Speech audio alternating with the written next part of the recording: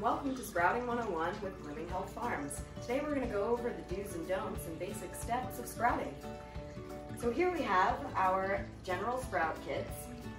You may choose to purchase a stand or use a general bowl at home, but we do have the full sprouting kits available at Blooming Health Farms. Step one, let's measure some sprouts.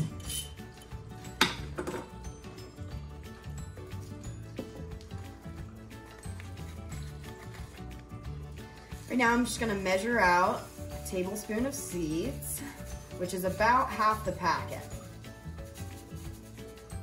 Best to do this over something, just in case your hands are a little bit shaky. And then we're just gonna pour them in the jar. So once we have our seeds in our container, we are going to want to soak them water here.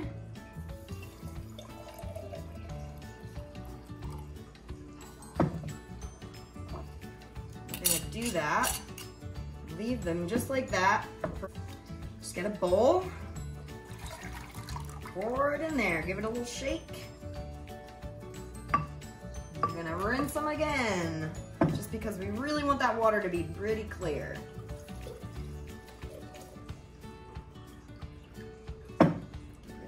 Swivel, and then dump again.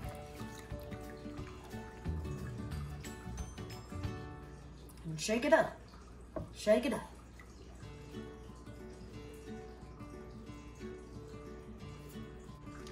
So now we have our freshly rinsed seeds and we are going to make sure that we put them upside down so that we can make sure to get that last little water out. Now, we have provided a stand for purchase that works really, really well.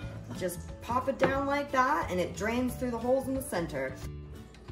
So once we've rinsed and put our sprouts on the stand, we wanna make sure to place them in a place with non-direct sunlight and a well-ventilated room.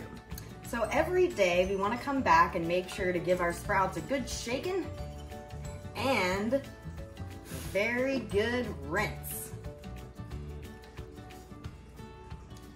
Fill it all the way up, make sure to cover all of your sprouts. Now these sprouts have been going for a few days now, so they have their tails. Make sure to give it a good